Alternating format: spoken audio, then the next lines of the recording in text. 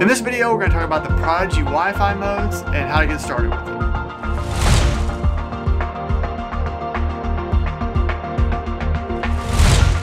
The Prodigy operates in two different modes. One is access point mode, the other is client mode. When it ships, it is in access point mode. So what that means is it is send, sending out a Wi-Fi signal that you can connect your smart device to. The problem with that is, is you will not have any internet access on your device because you're connected just to the board.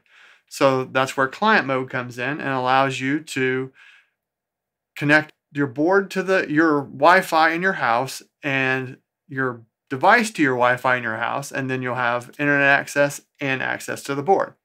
So I'm going to show you how to take it from access point mode to client mode now. So first thing you want to do is you want to open the Wi-Fi modes on your tablet or smartphone and you want to wait for the Prodigy to come up and it'll say Prodigy and your serial number to your board. Se select that.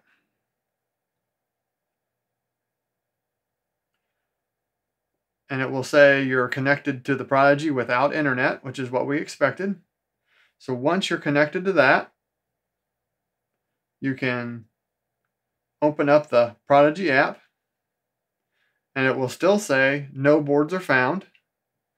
Click on the connect button and that will show your Prodigy board in the list. And if you don't see that, you can hit the rescan button to populate the list.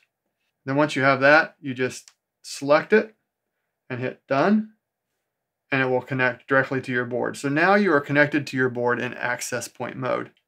So to switch it over to Wi-Fi mode, you need to connect your board to the Wi-Fi network. So to do that, open up your menu, go to the Wi-Fi. It will do a scan and show you all the Wi-Fi networks that are available. And we're going to connect to the Webies 2.4, which is the network here in my house.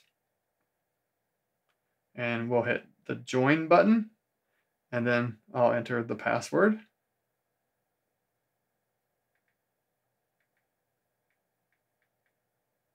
And hit join. And the uh, and then a box will come up telling you that your dartboard is joining the network and remember to connect your device to that network too.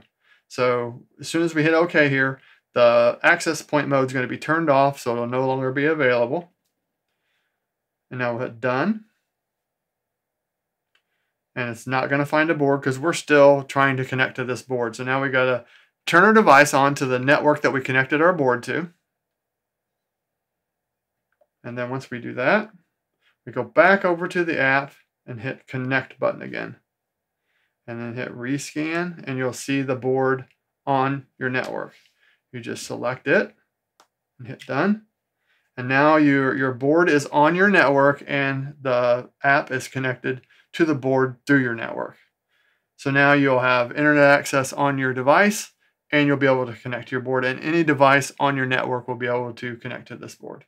So if you have a problem with this process and you need to put your Prodigy back in AP mode, you can do so by pulling the board away from the wall slightly and pushing the button that is furthest away from the power cord. Another way to do this process is to connect a mouse and keyboard directly to the USB ports on your board, and you can do everything through the menus on the board.